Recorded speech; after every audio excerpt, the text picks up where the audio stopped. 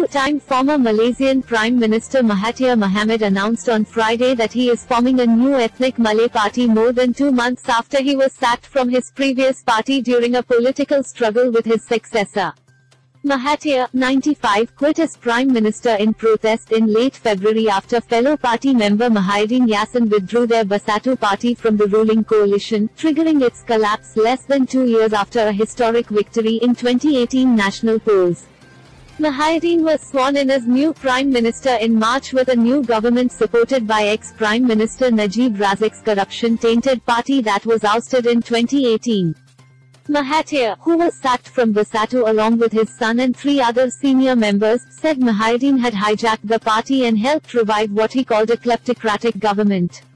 He accused Muhyiddin of using money to buy support in Bersatu, causing it to stray from its goal of fighting graft. Mahathir said he believes many grassroots members are unhappy and still support him. We feel that we must continue our fight and that is why we are forming a new party, Mahathir said at a news conference.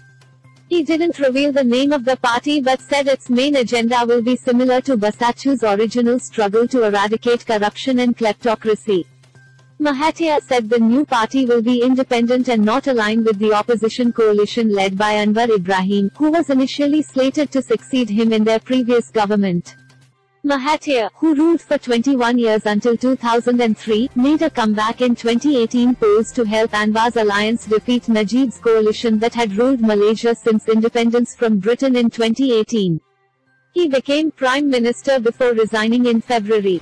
Najib, his wife and several senior officials from his party have been charged with multiple counts of corruption since their defeat in the 2018 polls. Najib was sentenced late last month to serve 12 years in prison in his first trial linked to a massive financial scandal, though the sentence has been stayed while he appeals. He faces four other trials and insists the cases against him are political vengeance. Mahathir's announcement Friday comes amid a disagreement with Anwar's alliance over the choice of their prime ministerial candidate. Mahathir has rejected Anwar's candidacy and supported another politician. Analysts said Muhyiddin faces pressure from allied parties to call for early elections because his unelected government has only a two-seat majority in parliament.